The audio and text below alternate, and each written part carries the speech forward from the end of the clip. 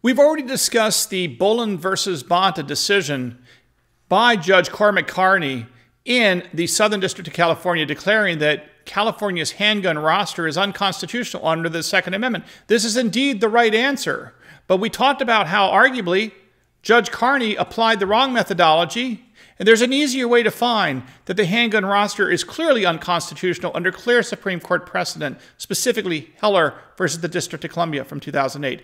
Let's break it down in some more detail, and let me explain how I think I might argue this if I were one of the lawyers in the case supporting the Second Amendment. Hey folks, I'm Mark Smith, host of the Four Boxes Diner, proud American gun owner, constitutional attorney, member of the United States Supreme Court Bar, and New York Times bestselling author. If you haven't subscribed to the Four Boxes Diner Second Amendment channel, please do so and show your love for the Four Boxes of American Liberty.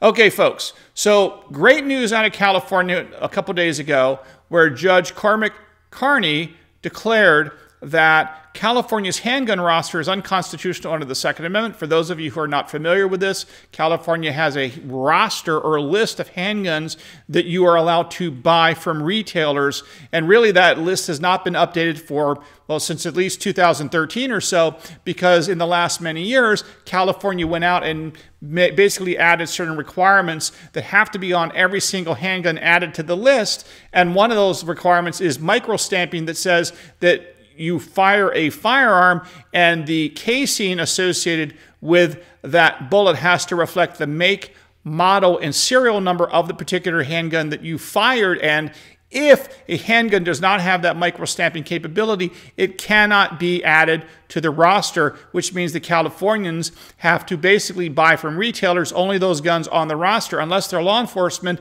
And as a practical matter, uh, those are older firearms and not the modern ones that have been made since 2013, with only a few exceptions to this. Now, Judge Carney rightly concluded that this violated the Second Amendment. However, as I talked about in my prior video, I think the methodology that he applied, while con conceptually correct, was unnecessary because, as I see it, the handgun roster issue of California is not a regulation on firearms. It's not a regulation on the carrying of firearms. It's not a regulation involving firearms. What it really is, if you look at it carefully and distinctly analytically, it is a ban on commonly possessed firearms in the United States, specifically firearms that have been made after 2013 at a minimum. These are commonly owned, commonly used firearms all across the United States, which is the proper standard. And because of that, California is not permitted to ban these in common use handguns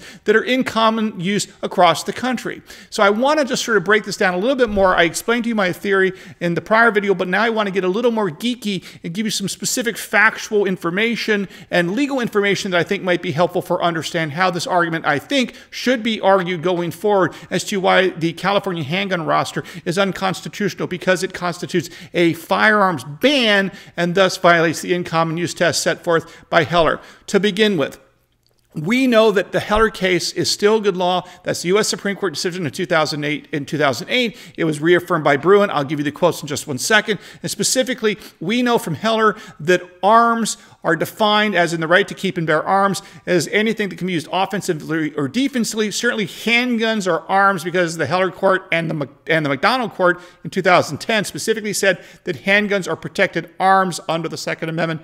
And after the Supreme Court in Heller said that handguns are protected arms under the Second Amendment. It then went on to say, having conducted the text, history, and tradition analysis that is referred to as the Bruen analysis, but really it's the Heller analysis because Heller is the one that deployed it first. All Bruen did was say that the text, history, and analysis test that we articulate and set forth in Heller is not being followed by the lower courts, and therefore in Bruen they simply spank the lower courts, the inferior courts under Article 3, and says, get it right, follow the text, history, and tradition test we set forth in Heller. We're going to lay it out in more detail in Bruen to make sure you lower courts stop screwing it up. But at the end of the day, the text, history, and tradition test is actually not the Bruen methodology. It's actually the Heller methodology just articulated more clearly in Bruen to make sure that lower rogue courts could not screw it up going forward because they were robustly screwing it up between the year of our Lord 2008 and 2022. A lot of it, in my view, on purpose, but set that issue aside. So let's carry on with the Heller analysis. So Heller says that the government cannot ban firearms.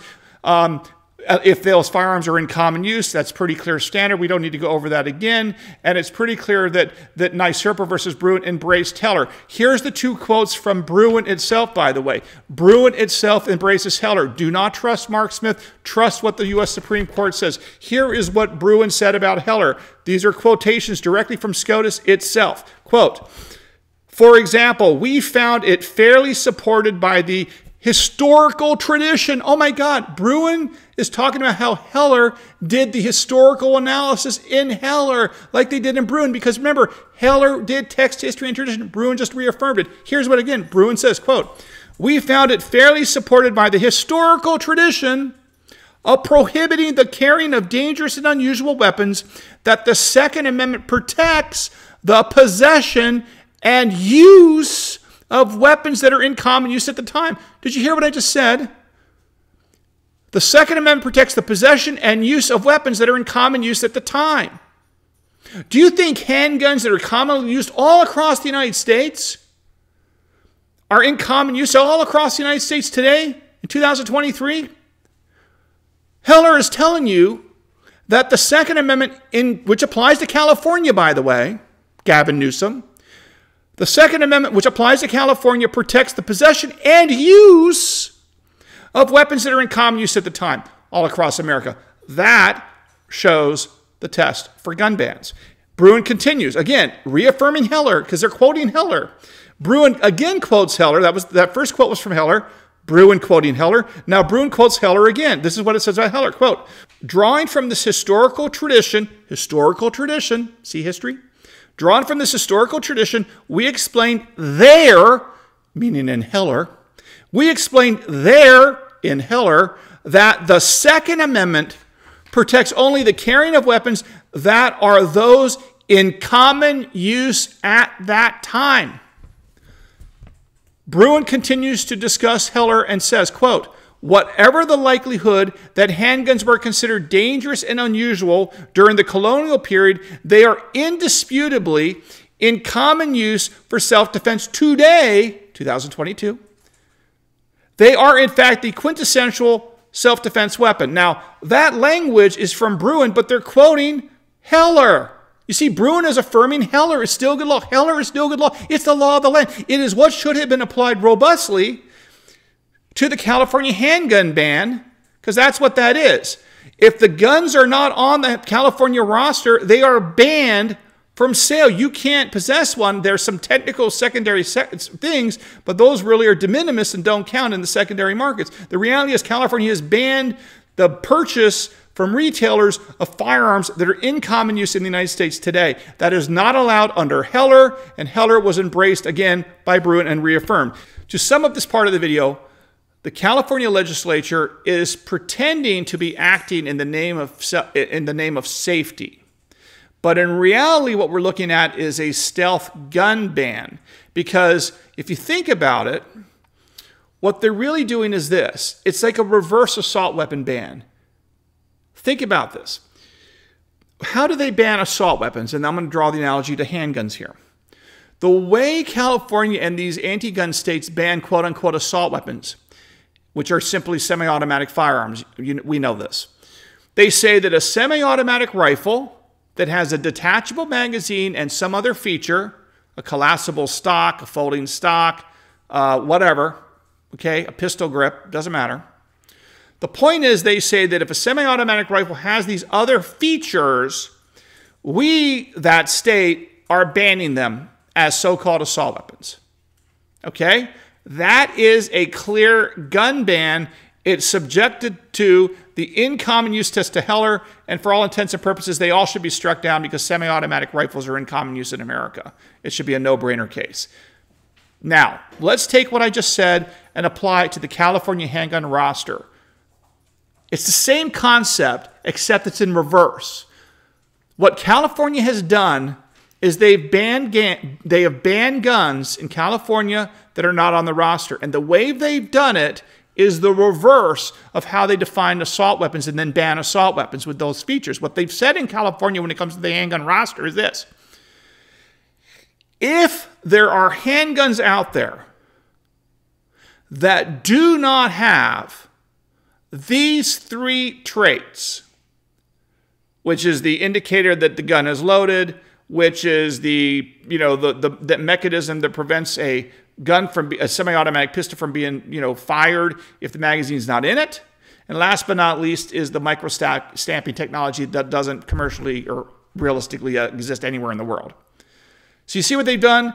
In the weapon case, the anti-gunners say semi-automatic rifle plus these additional features. In California, they're saying kind of the reverse, but it gets to the same outcome, that handguns that lack these three features are not allowed to be sold in California, and they're not allowed onto the roster.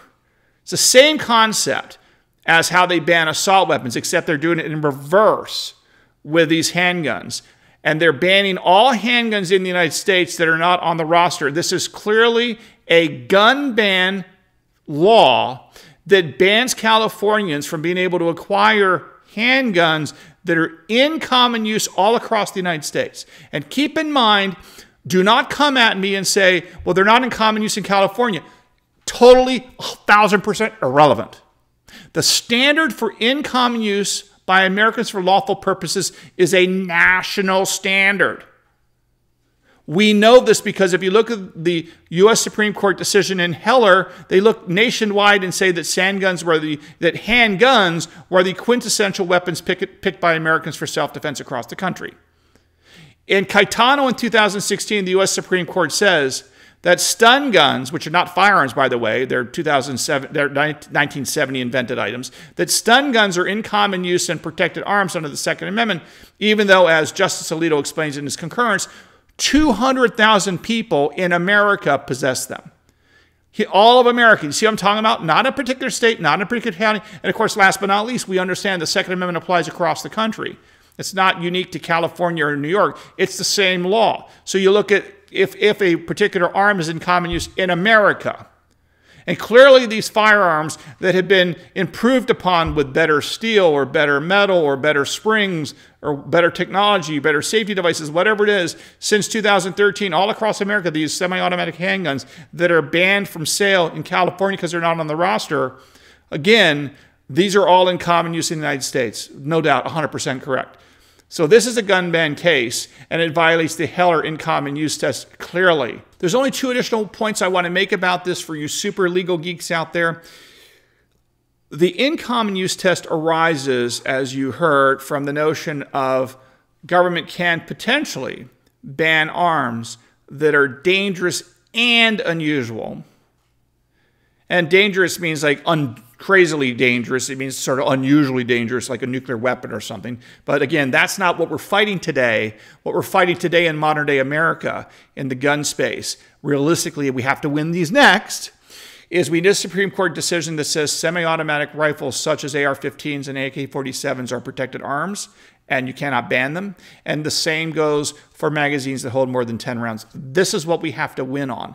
Okay, do not worry about Captain Kirk's phaser 25 or 30 or 50 years from now, we'll deal with that then. We have to first and foremost win the semi automatic rifle ban cases, the so called assault weapon cases, as well as the magazine cases. We have to do that next, and then we can worry about Captain Kirk's phaser if it gets invented down the road. But for now, laser focus, pardon the pun, on these two items. So the in common use test is extremely good for us because there's no way they can ban the magazines with more than 10 rounds or semi-automatic rifles of any sort uh, under the in common use test because they're declared in common use and can't be banned.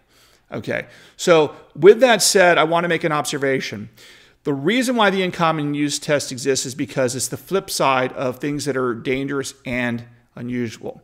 Now, if you think about something that's odd here, what California has said is that these handguns have been normalized. The handguns on their roster are normal and ordinary and in common use for for hundred for, for for decades, for decades, for decades. for, you know, since the invention of the semi automatic pistols.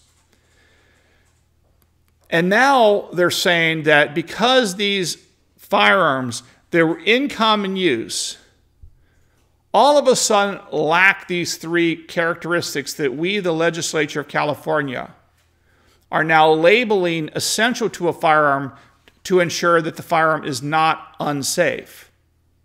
They're actually taking items, I know you got to think about this for a second, but they're taking handguns they were in common use and by definition not dangerous and unusual and California, by legislative sleight of hand, is trying to redefine these in common use items on the roster as somehow dangerous and unusual because they lack these three features. But there is no precedent that I am aware of in American history where any kind of an arm was at any point in time in common use and or not dangerous, and unusual. And then after a period of time, somehow becomes dangerous and unusual and not in common use. Do you see what I'm saying? That process of going from not dangerous and unusual and in common use as an arm in American history, and then one day we wake up and poof, that particular arm or item has somehow become dangerous and unusual and not in common use to the point where it can be banned. That has never occurred in American history. And yet, that is exactly what California is saying in essence that these firearms that were in common use, whether they're on the roster or not, can now be banned because somehow they've become, through legislative waving of a wand, dangerous and unusual and unsafe, right? Not allowed totally unconstitutional, not permitted, doesn't even make logical sense. And again, my criticism, and it's, it's just a polite criticism here of the decision by Judge Carney, is that he did not need to do what he did. He got to the right outcome, which is the roster's unconstitutional, but all he needed to do was to apply the in common use test because California is banning commonly owned firearms that are not being allowed into the state to be sold. The in common use test should just be applied. Clearly, it's a victory for the Second Amendment, but you don't need to do the plain text Bruen type methodology because, again, the Supreme Court already did it in Heller and came up with the in common use test. So, the in common use test is the product of the Supreme Court's use of text history and tradition in the Heller case. So, they've already done the work for the inferior courts. They don't need to redo the work now. The lower courts simply have to apply Heller, the in common use test, to the situation and rule the California handgun roster, uh, which is effectively a gun ban, to be unconstitutional. And last but not least, I want to remind all of you what the Supreme Court in Bruen said in footnote number 11 about when there's any doubt about which way to come out. Remember, the government bears the burden here to prove their case. That the government bears the burden to show the handgun roster is not in common use, that those guns that they're banning are not in common use that they are dangerous and unusual, but you can't do. I want to remember what Bruen said about foot in footnote 11 about when in doubt, where to come out.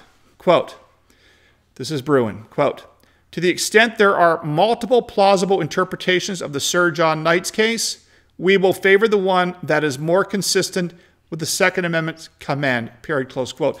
The Second Amendment's command is that the right of the people to keep and bear arms shall not be infringed. The U.S. Supreme Court, footnote 11, clear as day. California has banned handguns that were made after the year of our Lord 2013 with their handgun roster. Clearly unconstitutional. It's a simple case. We love Judge Carney's decision, but it did not need to be that complicated. There was an easier way to get to the outcome that strikes this down as unconstitutional. Okay, folks, hope you learned a little bit something here today. Uh, if you haven't subscribed, please do so, and we'll see you again soon here. The Four Boxes Diner. Orders up. Table 2A.